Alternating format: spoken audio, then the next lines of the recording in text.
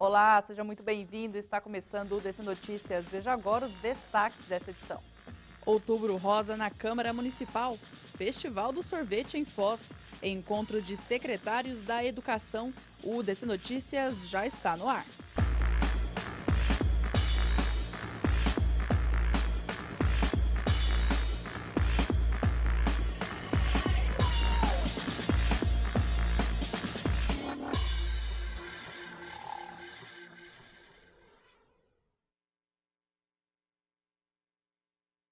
A prevenção contra o câncer de mama foi debatida em Câmara Municipal na última segunda-feira. O fotodocumentário dos alunos da UDC foi exposto durante a audiência e ficará até a próxima semana. As fotos mostram mulheres que superaram o câncer, motivando outras a realizar um exame preventivo e a não deixar que a vida pare.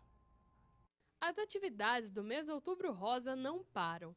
Na tarde deste dia 9, a audiência Pense Rosa, em prol da informação sobre todo o movimento e também sobre o câncer de mama foi realizada.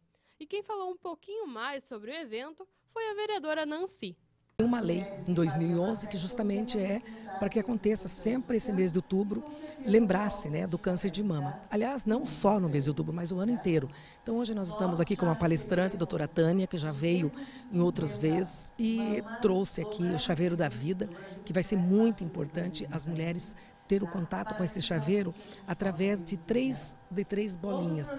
O início do câncer, o meio e depois a agressividade e depois aparece um coração, que é a luta. A exposição No Peito Só Alegria, que estava na Fundação Cultural, passou para a Câmara Municipal, abrilhantando ainda mais a solenidade. Ele trabalha conosco aqui na Câmara, uma pessoa maravilhosa, já fez exposição na Fundação Cultural e agora está aqui, já tem inclusive mãezinhas que passaram por, essa, por esses problemas todos que estão aqui já estão bem melhor. Então a gente está muito feliz de ele estar tá podendo expor esses trabalhos fantásticos aqui, né? Poderosas! E viva os poderosos de Foz do Iguaçu,